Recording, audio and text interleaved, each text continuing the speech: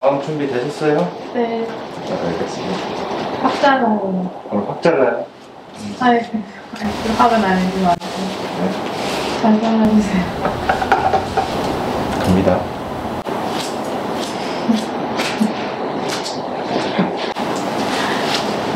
이렇게 머리 자르는데 부담감이 진짜 약간 좀 거의 없거든요. 네. 많이 부담스럽니다.